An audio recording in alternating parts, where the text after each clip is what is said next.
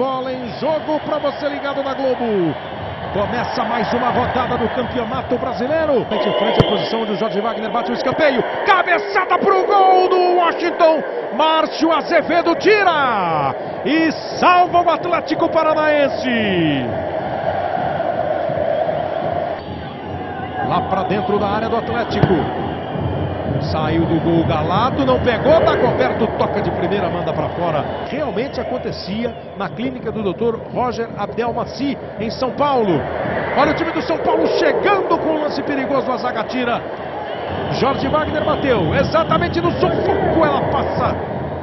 Com o Jorge Wagner colocado, o Rogério bateu e ela vai embora pela linha de fundo. Para o campo de ataque, para o Marcinho.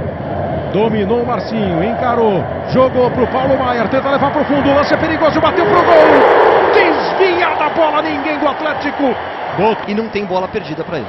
Olha o Atlético tentando chegar com o Alisson, botou na frente, tem a chance do gol. Rogério! Vai para a cobrança de falta, Paulo Baier, lá para dentro da área, Rogério! Sem ninguém tocar, a bola cai venenosa, o goleiro conseguiu afastar.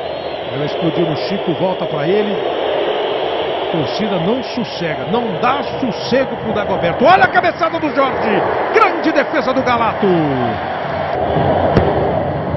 Venenosa bola, passa por cima do gol. Tiro de meta.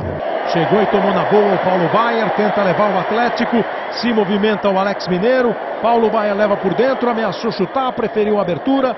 Gabriel, cruzamento para a área, sai do gol, Rogério.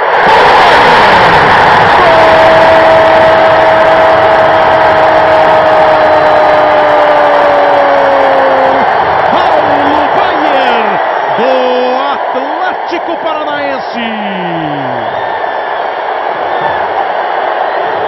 A inflamada torcida do Atlético comemora na arena.